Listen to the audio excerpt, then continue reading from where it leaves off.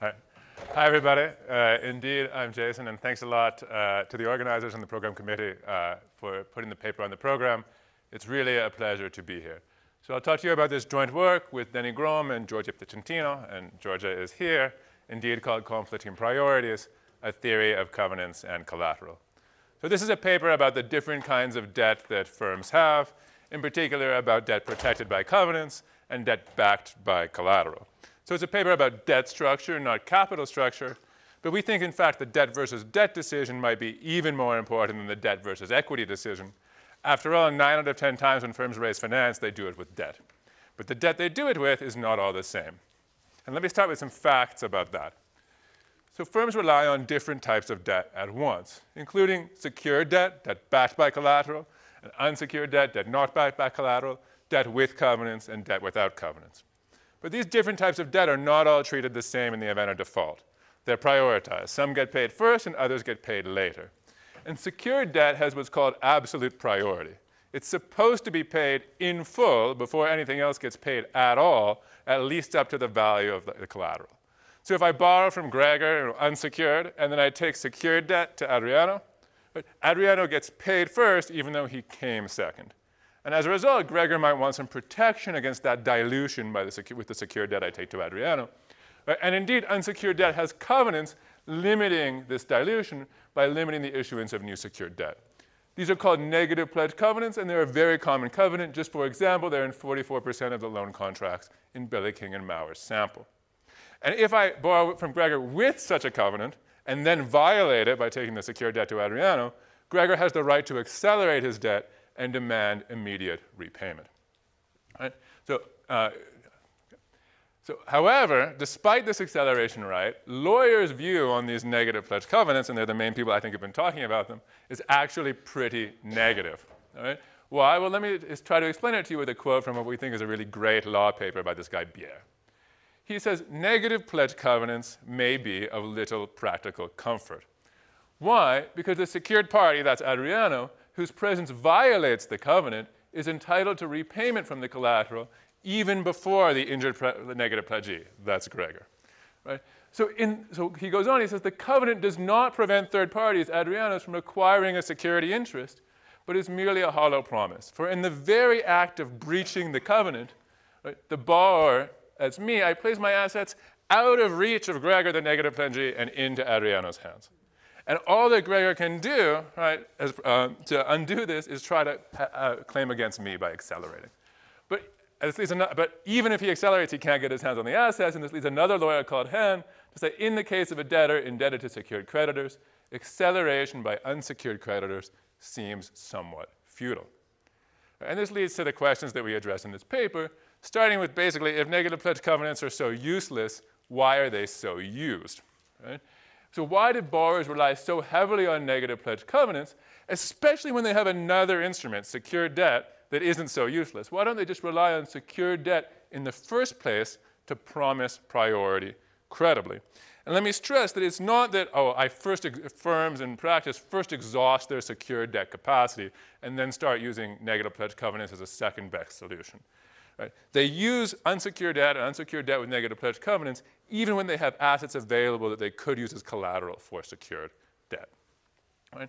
So there's not a pecking order. Right? Then we, but even though there's not a pecking order, of course, borrowers do use secured debt as one part of this multi-tiered debt structure. So why do they use this multi-tiered debt structure? Why do they use what seems to be an interior mix of secured and unsecured debt and debt with and without negative pledge covenants? So we're going to try to address these questions uh, in this paper in a model of sequential financing based on two frictions. So the first friction is just limited pledgeability. I can't borrow against my project's full present value, that gives a role to, to the possibility that I could be inefficiently financially constrained. The second friction is that contracts are non-exclusive. So when I write this contract with Gregor, although I'm allowing a, a, clause that says I can't pledge collateral to Adriano, I don't have an ankle bracelet that electrocutes me if I try to take out a pen and sign such a contract anyway. As a result, there's the possibility that I can sign conflicting contracts. Right? And the role of collateral, so and the role of collateral in this paper is going to be exactly to establish priority among these contracts. Once contracts can conflict, I need a priority rule, and that's what collateral does here. Notice the collateral doesn't affect the limited pledgeability friction. That's a, a, role of collateral that's been emphasized a lot in the papers and a lot in the literature, notably in Adriano's papers.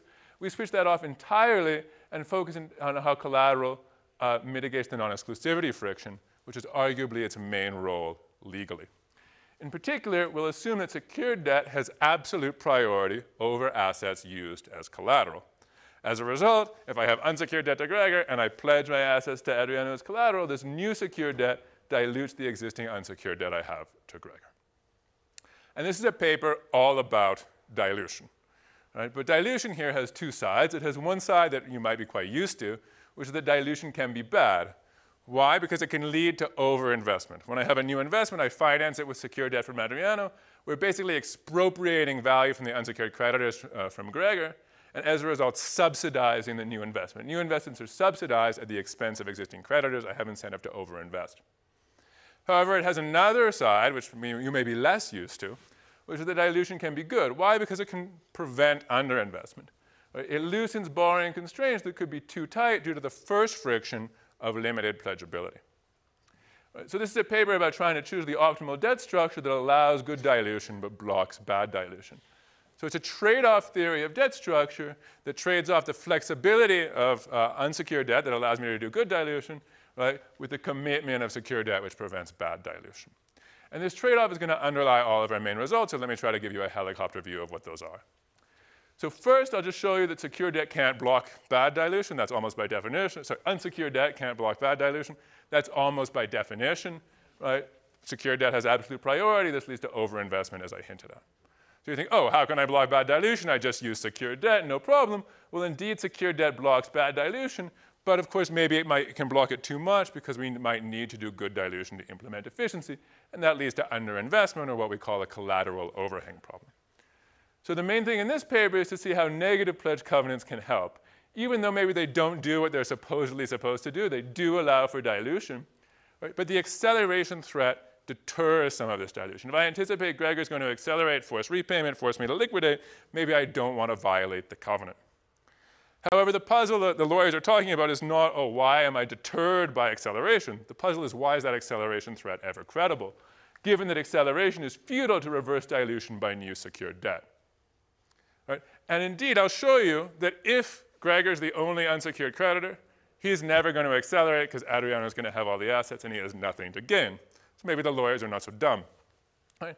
What I'll show you, though, is that if we choose a richer debt structure, where Gregor's not the only unsecured creditor, but maybe Steyn is another unsecured creditor, but without negative pledge covenants, right? then by accelerating, Gregor can get his money out, not reversing the acceleration I've done uh, by pledging my assets to Adriano, but he can get some money out ahead of the repayments I owe Steyn. His debt, I pay Gregor before Steyn's debt even becomes due. In other words, the option to accelerate embeds an option to dilute, not to undo dilution, but to dilute other unsecured debt. And if this option is valuable at the right time, this acceleration threat can be credible at the right time. Right? And, the right, and the correct debt structure can implement efficiency even under the current priority rule. Right? So we think that matters for policy because lawyers have been advocating relaxing the current priority or relaxing the absolute priority of secured debt. So in an influential paper, Bebchuk and Fried, they say this article challenges the desirability of full priority of secured claims. And their argument is basically secured debt has too much power to dilute unsecured debt. We should relax it. And we agree, such proposals do protect against dilution, but what we, uh, want, what we suggest maybe it protects against dilution too much. And in fact, we show that the existing priority rules right, can be efficient, implement efficiency, if firms choose the right mix of debt with those priority rules in the background. And it seems like they might be doing something like choosing this right mix of debt because we think our results resonate with practice. In particular, we explain why negative pledge covenants are pervasive despite uh, lawyers saying they're useless. Right? You need to do good dilution but block, deter bad dilution. We explain why covenants are frequently violated or waived because in order to do good dilution, that covenant needs to be relaxed. Right?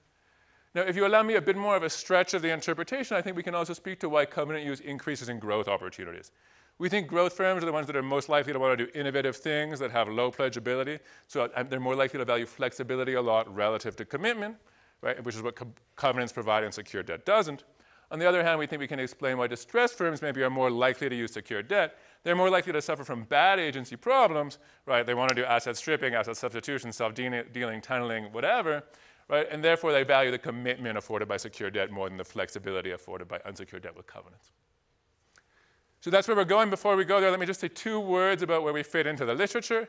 So we fit into the set of models in which collateral is there mainly to establish priority.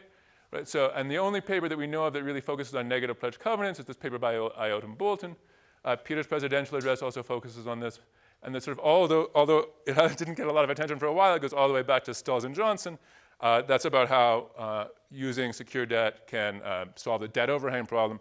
A big difference with that is that this is not renegotiation proof, unlike the collateral overhang problem that we focus on.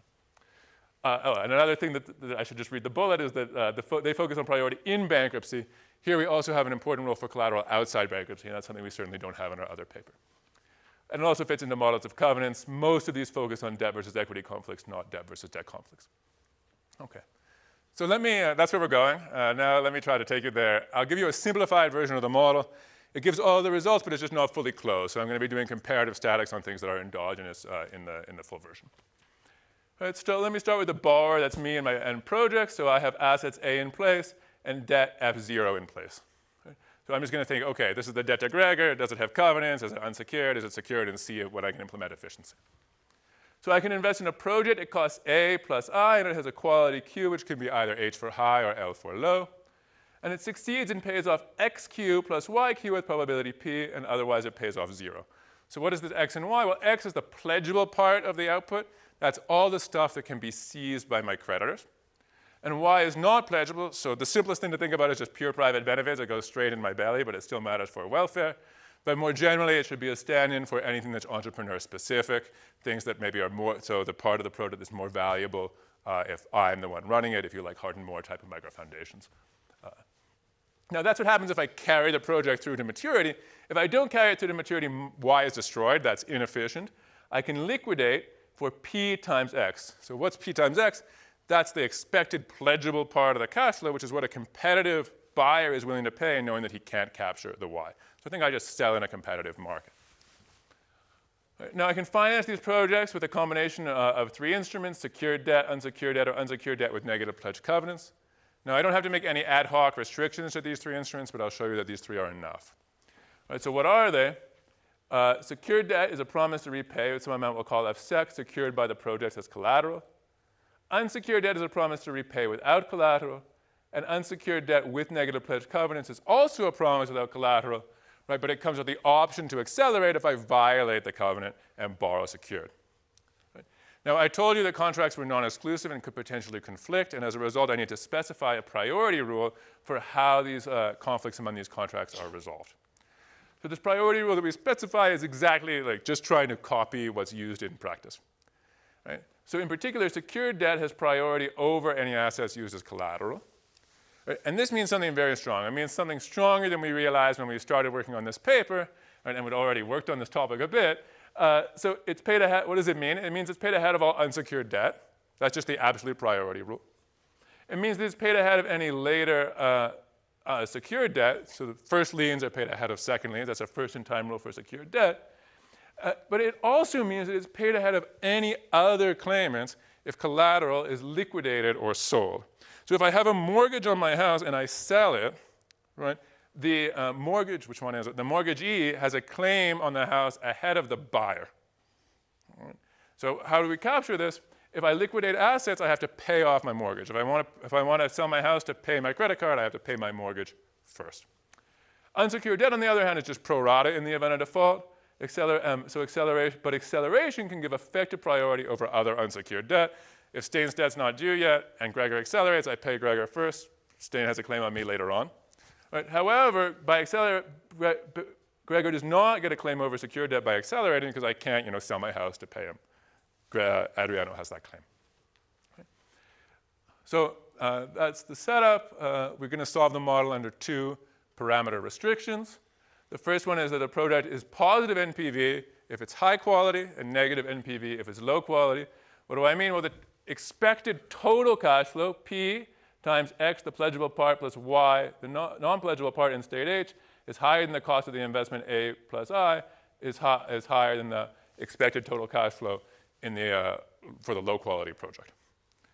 Notice this includes this Y part, which could be private benefits, or it could be because I need liquidity in distress. Right? And the second is that the project is not self-financing.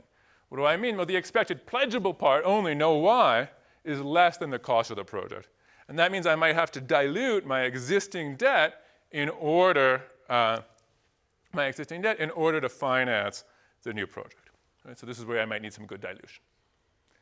So the second project, the second assumption is not there. It's not necessary to solve the model.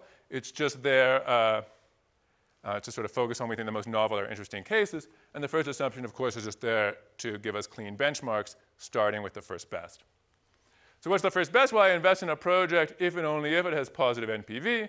So I invest in uh, the high quality project and not in the low quality project. Hopefully that's obvious. I'm going to belabor it even more and sort of say what are the two things that are necessary for the first best. All right. First, it has to be that I don't invest in the low quality project. Well, there could be a problem though, because remember, non-exclusivity can lead to overinvestment. When I borrow from Adriano, uh, Adriano, right, I'm subsidizing my new investment. It can lead to overinvestment. My borrowing constraints could be too loose. I might need to block bad dilution. Right? On the other hand, it, can be, it has to be that I can invest in Q equals H. I get to do this high quality project. And there, there's also a problem in doing that, which is that limited pledgeability can lead to underinvestment. Right? My borrowing constraints could be too tight, so I need to do good dilution. For the rest of the talk, I'm just going to run through the possible instruments, unsecured debt, secured debt, and unsecured debt with negative pledge covenants, and say, which instrument gives me enough commitment not to do the low quality project, but still enough flexibility that I can do the high one. So let's start with unsecured debt. Well, here we get immediately to our first frame result, which I sort of already told, well, I've told you them all, I guess, but which is that there's an inefficiency of unsecured debt, right? What is it? Well, if I borrow from Gregor, so take F0 completely unsecured, I can dilute, and that leads to this overinvestment in the low quality project because we have too much bad dilution. Now, how do we block this bad dilution? Well, I just say use secured debt to Adriano, oh, sorry, to Gregor in the first place, so I can't dilute with new secured debt to Adriano. So what happens if I, so let's, let's what hap- to see what happens, let's suppose that I borrow F0 secured from Gregor, and there could be some other uh, unsecured debt also to Gregor. So my secured debt, this F0 set, cannot be diluted, right? But any unsecured part of his debt can be. Right? the question is, what's my debt capacity? Because right? I want to have enough debt capacity that I can invest in H, but not enough. So my debt capacity is the most I can borrow, which is of course secured, because secured debt allows me to borrow the most. So what I can promise Adriano, my new secured creditor, everything that I haven't already promised to Gregor secured. Because the new secured debt is paid ahead of the earlier unsecured debt, so I can just promise that stuff to Adriano. That's the absolute priority rule but it's paid after earlier unsecured debt. That's the first in time rule. First mortgages are, are paid ahead of second mortgages. So what's my debt capacity? Well, with probability P, I get some stuff. I get X, which is pledgeable, which can go to my creditors, and uh, Adriano gets everything I haven't already promised secured to Gregor with F0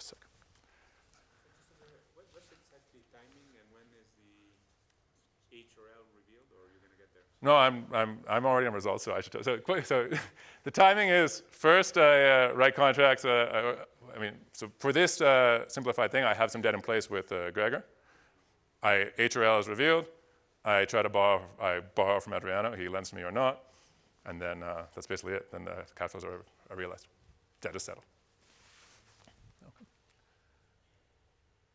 Okay, so what do I need? I need the debt capacity to be enough that I'm constrained in one state or the other. So when is first best implementable with just secured debt or a mix of secured and unsecured debt to Gregor? Well, it's implemented if I'm constrained if Q equals L, but not if Q equals H. So to be constrained when Q equals L, my debt capacity, this is the expression I just showed you, with X equals L has to be less than the investment cost. But to be unconstrained when Q equals H, uh, it has to be that my debt capacity is greater than the investment cost. Right, well, just rearranging, we see that I can find such an amount of secured debt to Gregor whenever XL is less than XH. And that's our second main result, which is that secure debt implements the first best when if XH, the pledgeable fraction of the high quality project, is high. Right, so, so what's the reason, so, or the result? I think financing the project requires dilution, so keep that in mind. And I can't finance it if all my debt's secured. So what do I do? I have to reduce the amount of secured debt to allow for some dilution, but remember I could allow for too much dilution. Right? So if x, oops, if xl is less than xh, then I can find f0 sec so that I can fund it, the high quality project and not the low one, because less dilution is needed to fund h than l. So great. In this case, when XH is high, we're sorted, and we don't need these covenants. However, what if we need to dilute more to fund the H quality project than the L quality project? What could this mean? I, I, you know, I, I, have sort of this running example of a hotel in my mind. I've got this hotel, and I can either you know, build another like crappy redeployable building, right, or I can turn it into a design hotel. Now, either one of those things could be the efficient thing socially, but almost surely the design hotel is less pledgeable than uh, the extra building that can be redeployed. Right? So you think, okay, what, what about the case when the high quality thing is the design hotel and the low quality thing is the extra building? Well, in that case, we get underinvestment with secured debt. So to see that, suppose we need more dilution to fund the H project than the L one, so XH less than XL. Then any amount of secured debt I give to Gregor that blocks my, me from doing the L project blocks me from doing the H project too. Right? So secured borrowing blocks future positive NPV projects. And this really resonates with practitioners' intuition, so uh, we've used this quote a lot. So, so what happens is secured borrowing encumbers assets. So this is a quote from Deloitte. They say asset encumbrance not only poses risks to unsecured creditors. That's the dilution we've been talking about so far. I encumber my assets by pledging them to Adriano, and that's a risk to Gregor. But it also has wider implications since encumbered assets are generally not available to obtain liquidity. If I encumber my assets, I can't get enough new liquidity to get through distress or to fund my design hotel.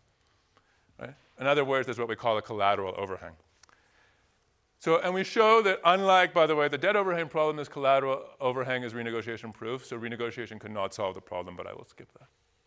And ask, can we solve it instead with negative pledge covenants? Right? So to, ask this question, let's suppose that I have F0 unsecured with negative pledge covenants to Gregor, and ask what happens if I violate the covenant taking on secured debt F-sec to Adriano. And for the purposes of the presentation, let's focus on this case when F-sec is sufficiently large. Okay. In that case, creditor Gregor has the option to accelerate, forcing liquidation.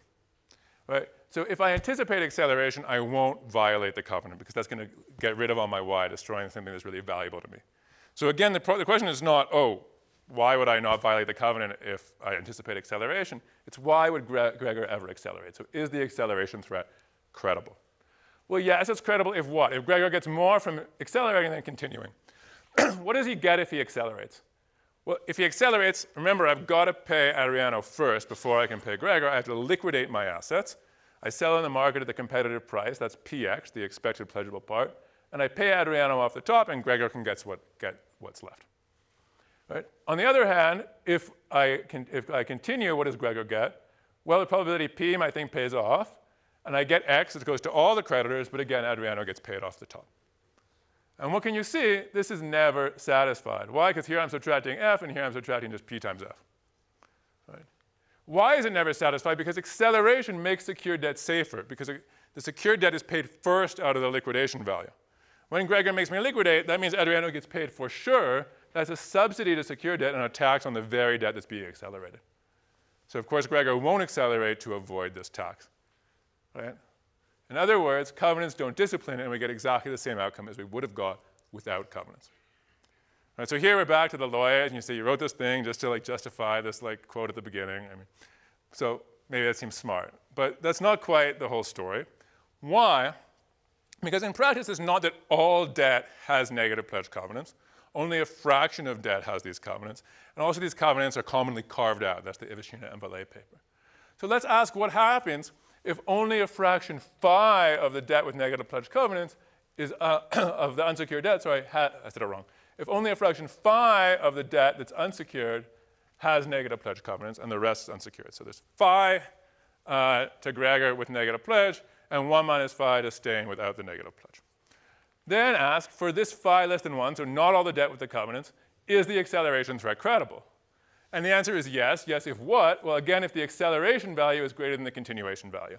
What's the acceleration value? Well, it's exactly the same thing. Gregor accelerates. I have to liquidate. I've got to pay Adriano I liquidate, I pay Adriano off the top.